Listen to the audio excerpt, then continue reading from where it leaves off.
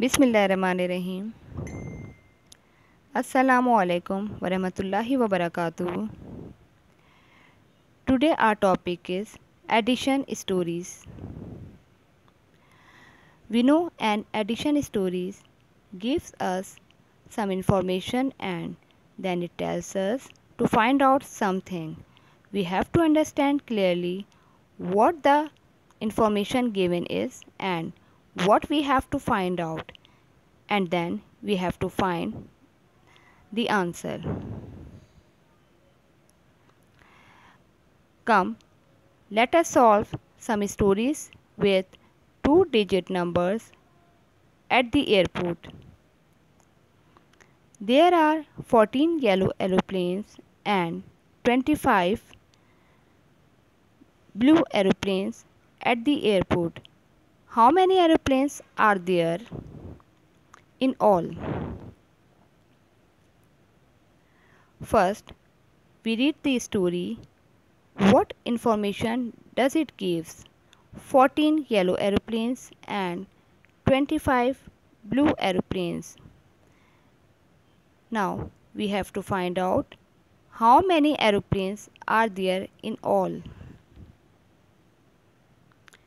we have to add 14 and 25.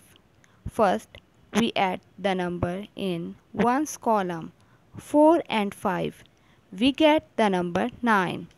Now, we add the numbers in tens column 1 and 2 and we get the number 3. Hence, we get the number 39. So, there are 39 aeroplanes in all at the airport. Now look one more addition story at the airport and try to solve it. There are 33 trolleys at gate A and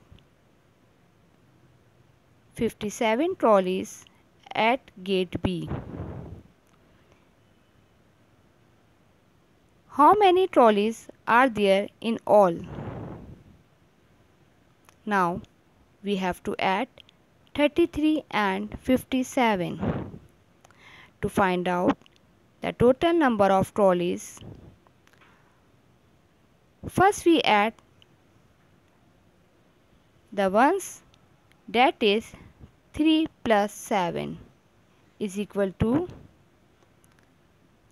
10.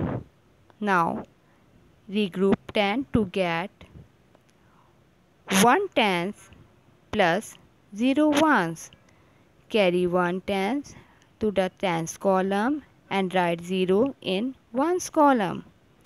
Now add the tens that is 1 plus 3 plus 5 is equal to 9 and we write 9 in tens column.